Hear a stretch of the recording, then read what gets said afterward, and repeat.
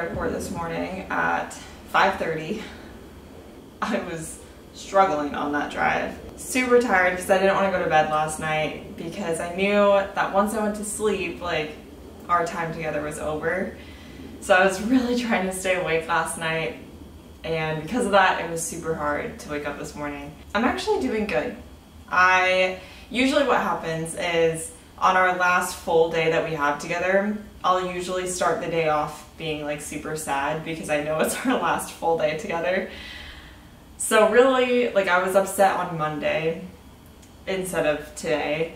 Also, with it being so early in the morning, like I just wasn't even awake enough to be able to be sad about it. So yeah, I'm doing good. Also, I think part of why I'm doing okay is because I think this is like the last time that it's going to be that long without seeing each other. Like I think he'll be here again in like three weeks. Well, actually no, this time it will be like four weeks. But that's much better than nearly two months, which is what it was before. So I know it's gonna get smaller and smaller as time goes on. Um, but yeah, it's still not fun to like be here by myself after like having someone here all the time. But at the same time, I do enjoy my alone time.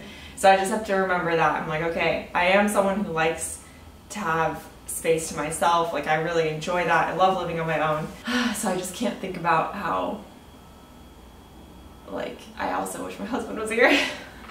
Anyway, so this morning has been pretty chill. I've been literally working from my bed, not only from home, but like in bed. Finally decided that I should probably get up and like get changed and whatnot. um, but it's been so nice. Sometimes that's just what you need to do. It's just work not only from home, but from your bed. Um, I might be a little off today because I'm conflicted with, uh, it's always like this every time Angel leaves, like, I'm doing okay, but at the same time, I'm like, dang, he's not here. Anyway, I'm gonna go ahead and make some lunch and uh, get some more work done.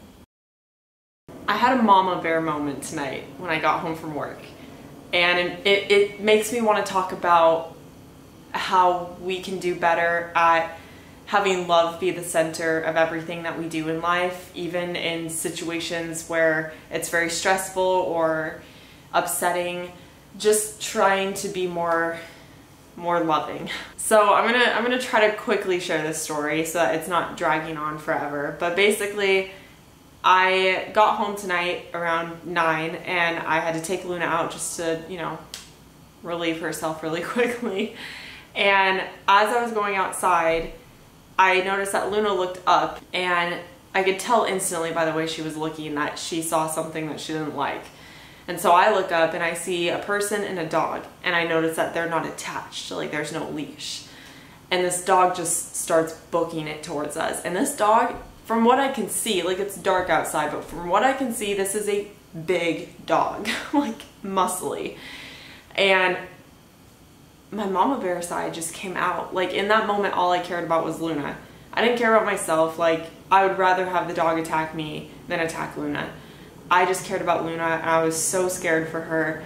I obviously this this dog looked like it was so much stronger than Luna and also Luna's just a sweetheart. Like I don't even know if she would actually defend herself. Like I don't know if she'd be able to fight back, but oh man. Anyway, I don't remember exactly what I said to this lady, but I know in the moment I was going off on her.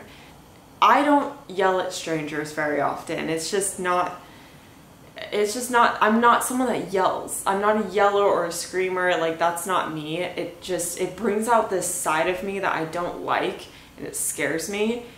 But I full on yelled at this lady and just gave it to her. Again, I don't remember what I was saying. Somewhere along the lines of come get your damn dog and like put it on a leash.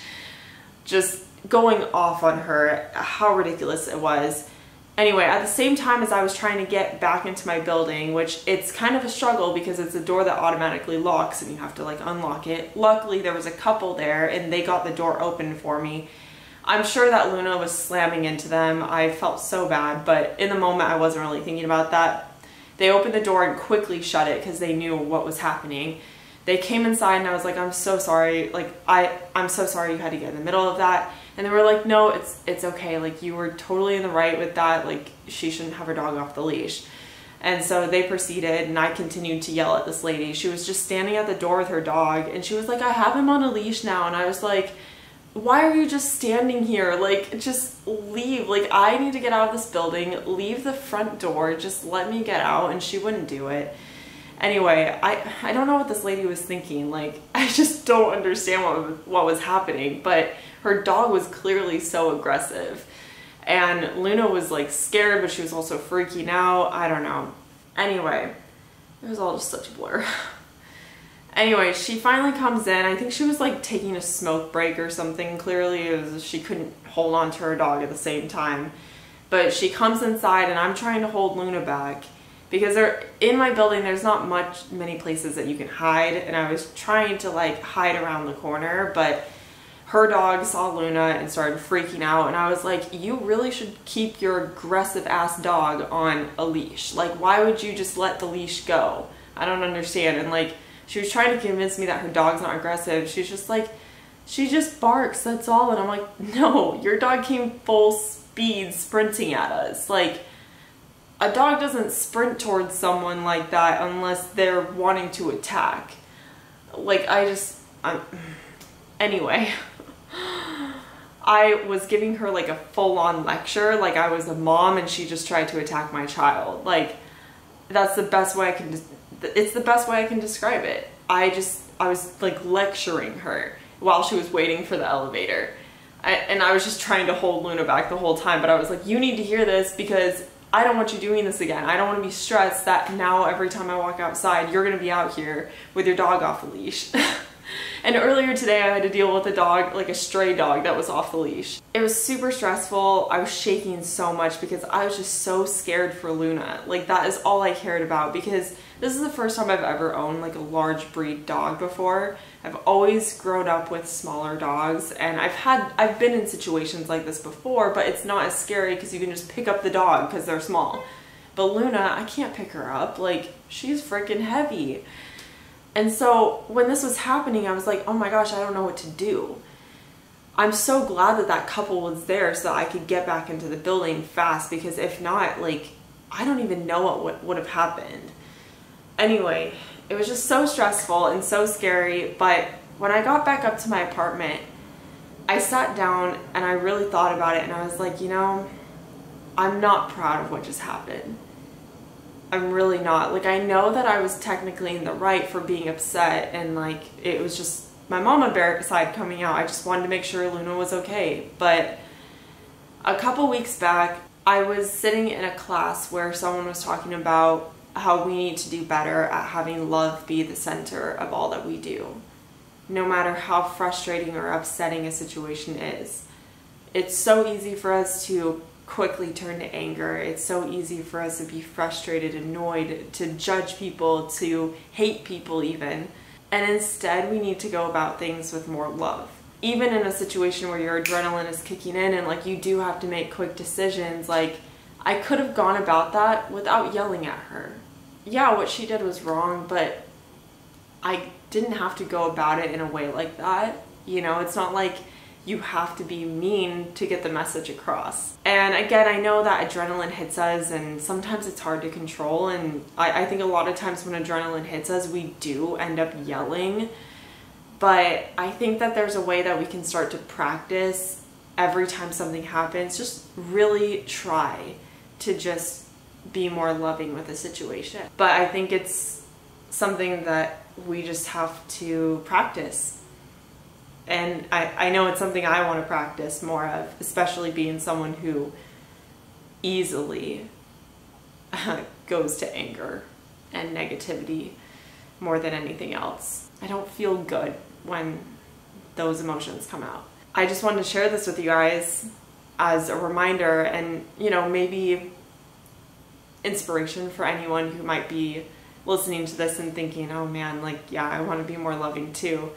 You know, maybe we can work on this together and ultimately, if you're going to be more loving with the things that you do, even in super tough situations, it's going to spread more love throughout this world, especially with tough situations. Because then that person that you're being loving to, where they weren't expecting that at all and they were ex- expecting you to be upset, they're going to notice that and they're going to want to turn around and be loving to the people in their life. It just ends up being a ripple effect. I just I, I just really want to work on this. So yeah, I think all of us can can be a lot more loving than we are already.